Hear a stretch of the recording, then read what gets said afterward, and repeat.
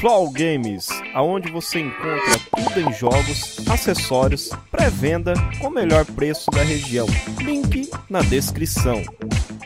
Fala aí pessoal do YouTube, beleza? Metralha Gamer de volta e hoje galera trazendo pra vocês um vídeo rápido, cara. Deu problema no Ragnarok.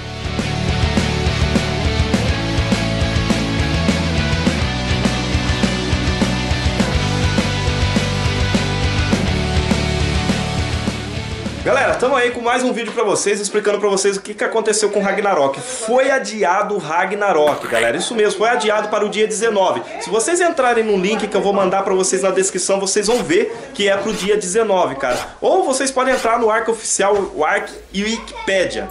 Aí vocês vão entrar lá, vão ver que o bagulho complicou. Era dia 4, do dia 4 passou pro dia 10, do dia 10 passou pro dia 19. Então, Ragnarok foi adiado. Pelo que eu vi lá, para o Xbox One vai estar disponível no dia 12, galera. No dia 12 vai estar disponível. Então, eu não sei o que, que vai acontecer. Espero aí que o Ark tome rumo. Like, favorito, se inscreva no canal Tibetar. Tamo junto e é nóis.